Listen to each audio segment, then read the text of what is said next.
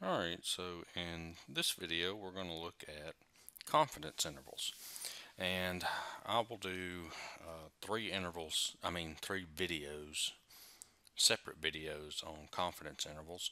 Uh, the first one will be uh, confidence intervals where uh, sigma is known and the next one will be where sigma is uh, unknown and then I will do one on uh, proportions. Okay, so let's get started on this one. Uh, confidence interval sigma is known. So here's the confidence interval. It's x bar minus e is less than mu, which is less than x bar plus e. Okay, so e is z sub c over sigma divided by the square root of n. So, and c is your confidence level, okay, whether it's like a, a 95% confidence interval, 99% confidence interval, okay, that will be, you know, given to you. And z sub c is the critical value for the confidence level c based on the standard normal distribution.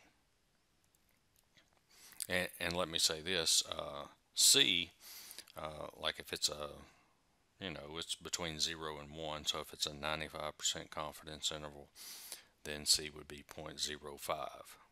Okay. All right, so let's go ahead and get started. And uh, let's take a look at an example. All right, so our first example, we say, it says an athlete jogs two miles every day. The standard deviation of his times is sigma is 1.8 minutes. And notice here they give us sigma. See, sigma is known. He has recorded his times over a period of 90 days. For these 90 times, the mean is x bar equals 15.6 minutes. Let mu be the mean jogging time for the entire distribution of his two mile running times. Find a 95% confidence interval for mu. Alright, so the best thing to do is just is draw it. Okay, we want a 95% confidence interval. And so that means in here, in this area here, is 95%. Okay, and so that means we have 5% left over. So this area and this area is 5%. And we know that this is symmetrical. So if we half the 0.05,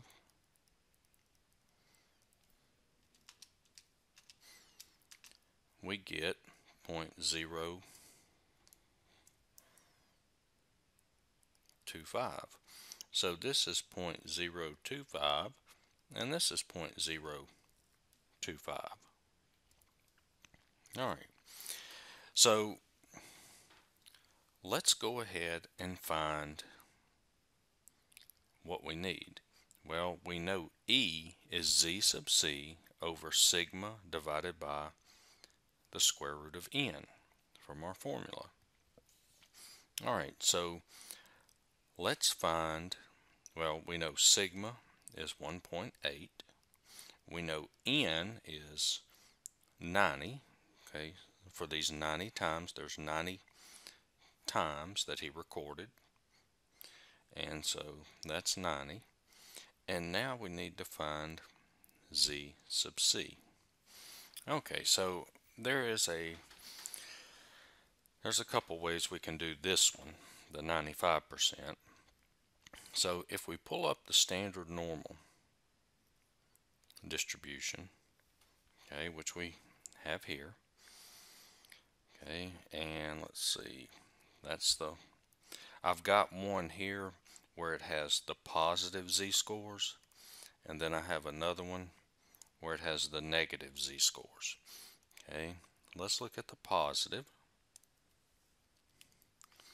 All right, now on, on some of these standard normal curves, they have this chart here, confidence intervals. Okay, so for a 95%, you can see that Z sub C is 1.96. Okay, so that's that would be the easy way to find it. So Z sub C is 1.96. Okay, so let's suppose that it didn't have that little chart. Well, we would have to find it. We are looking for this value right here. Okay, so we need this z-score that has an area to the left of 0.95 plus the 0.025 which is which this total area would be 0.975 okay? That's the that's the whole area to the left of this z value here okay? So for that we would need to come over here and we need to come in here and find 0.975 so if we're if we're looking in here all right let's see I hope you can see the numbers. So if we we're looking for 0.975 and here you see this? There's 0.975 and that corresponds to 1.9 see 1.96 okay? So there's your 1.96 for your z sub c. That's how you would look that up. I know it's just easier to look at this but what if they ask you to find a you know a confidence interval that's not on here? Well that's how you would that's how you would find this critical value here okay. All right.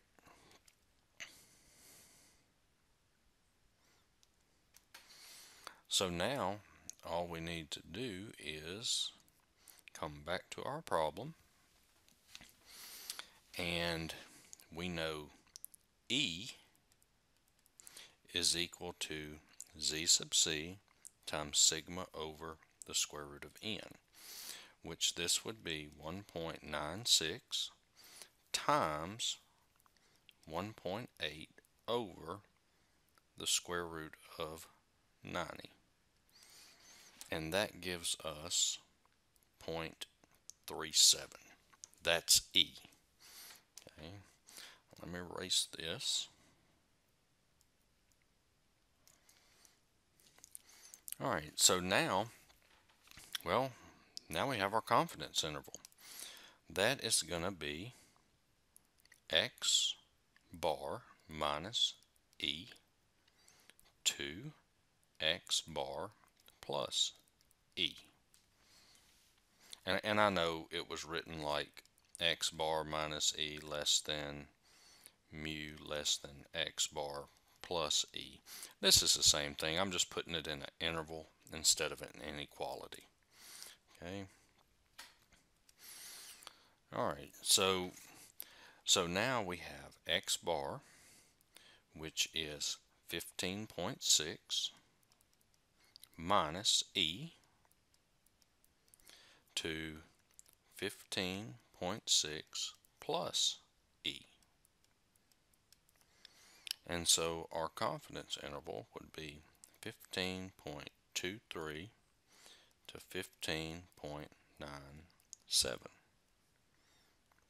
And there's our confidence interval. All right, so so here we can say that uh, with 95% confidence, we can say that the mean jogging time mu is between 15.23 and 15.97 minutes. Okay, all right, let's do another one.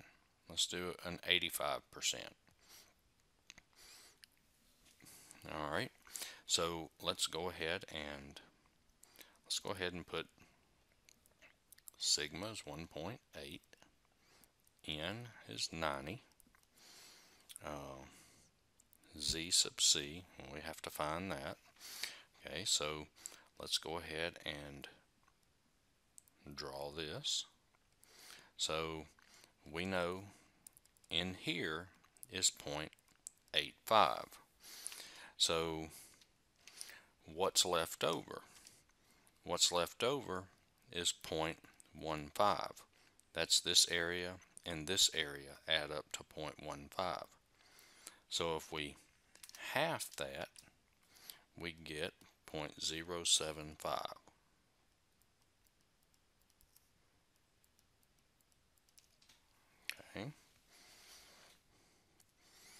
All right, so so we need this z value here, okay, that has an area to the left of 0.85 plus 0.075 which is 0.925 okay? So we have to go into our standard normal distribution table and find an area of 0.925 and see which z-score corresponds to that alright so let's do that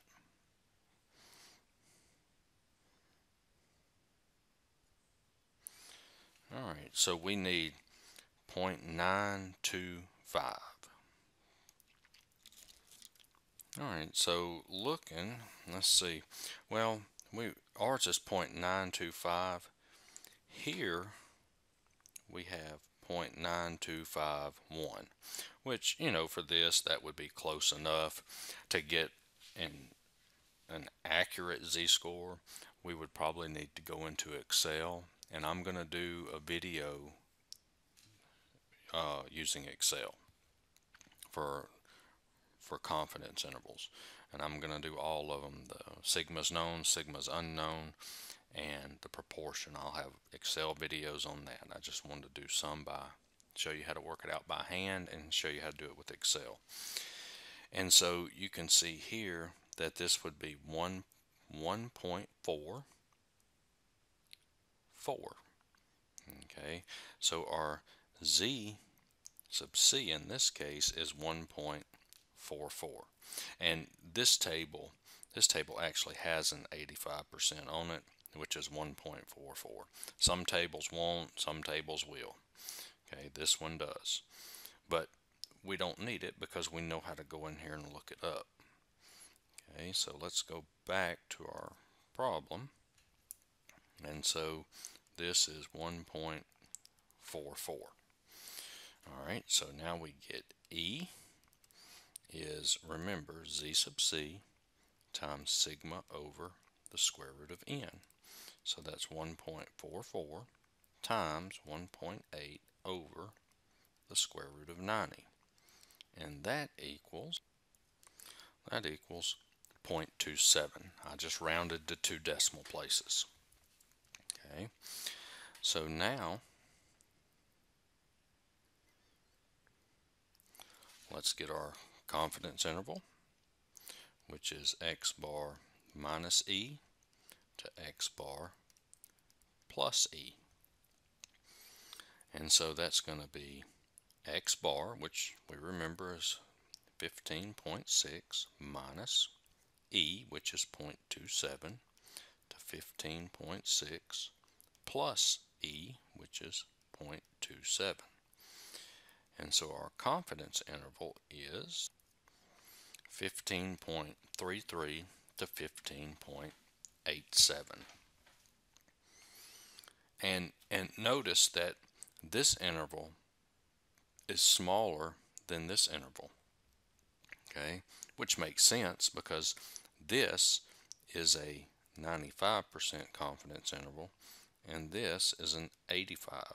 See, we're more confident that it's between these values, so the interval's wider.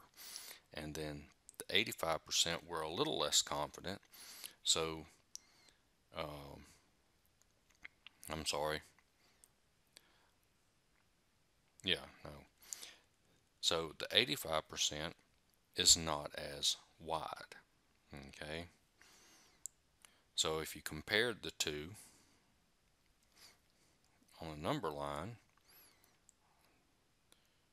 this would be 15.23, 15.97. That's the 95. And then the 85, 15.33, 15.87. All right, you can see how this one is wider than this one.